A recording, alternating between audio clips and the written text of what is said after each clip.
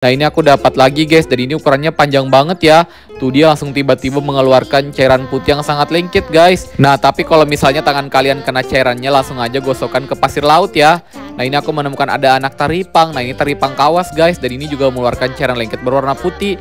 Tapi taripang ini bisa dijual. Dan nanti aku mau simpan di penangkaran guys.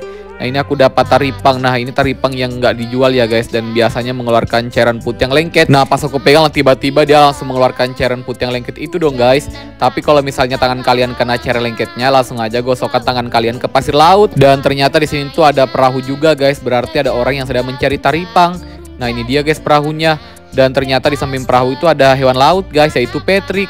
Lihat Patricknya gemoy banget kan guys?